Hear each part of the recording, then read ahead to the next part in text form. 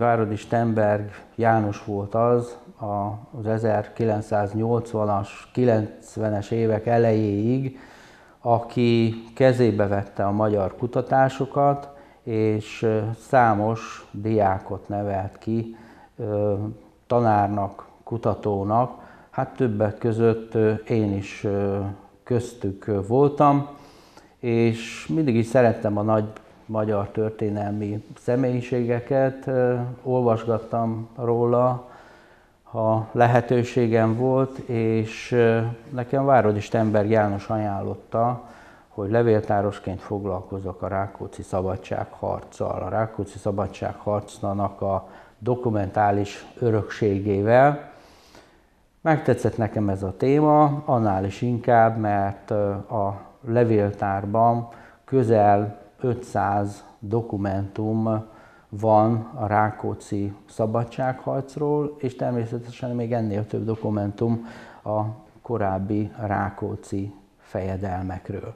Amikor a levéltári éveim után a, az ELTE bölcsészettudományi karnak a doktoriskolájába kerültem, akkor természetesen a Rákóczi kornak az egyik időszakát, az egyik megyéjét, Magyarországnak az egyik megyéjét dolgozta fel.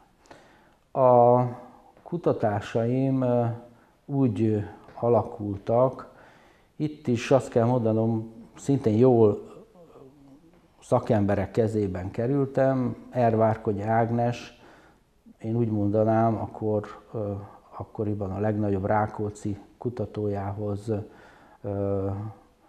kerültem, mint PHD hallgató, és amikor elbeszélgettünk arról, hogy milyen témát kellene nekem feldolgozni, akkor a tanárnővel leültünk, és ugye elkezdtünk gondolkozni.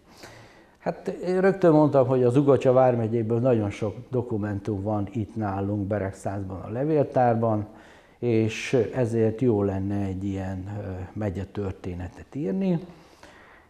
Utána is megnéztük, hogy mi a helyzet a Vármegyék kutatásával, ugye, és rájöttünk, hogy ugye hiába a Rákóczi kort már akkor is ugye azt mondhatjuk, hogy 300 évet kutatják, és egy vármegyének a története a Rákóczi korba nincsen ilyen diszertáció szerint tudományosan megírva.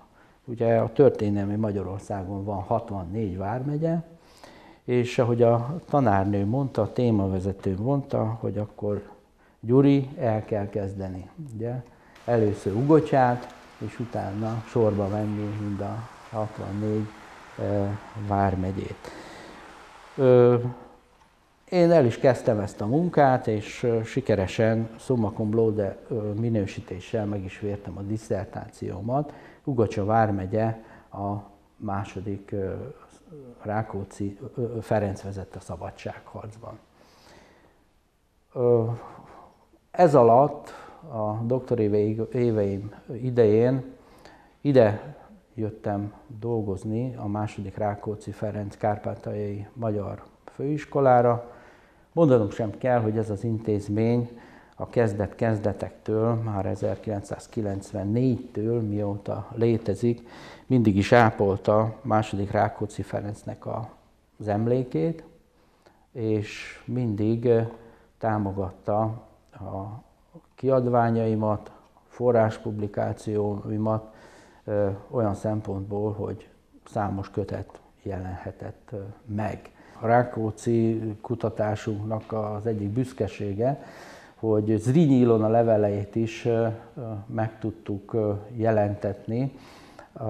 A második Rákóczi Ferenc Kárpátai Magyar Főiskola és a Magyar Tudományos Akadémiának a támogatásával három nyelven, magyarul, ukránul és angolul a bevezető tanulmány ugye három nyelven áll rendelkezésre, és hozzáadtuk még a, a maguknak a, az eredeti leveleknek a fotóját is a digitális formában.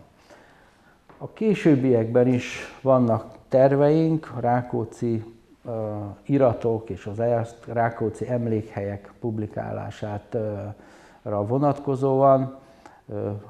Az idén egy fotóalbumot szeretnénk megszerkeszteni a meglévő emlékhelyekről, és a későbbiekben a levéltárunkban, az Ung, Ugocsa és Bereg megye levéltárában található 165 második Rákóczi Ferenc által aláírt iratot is szeretnénk publikálni.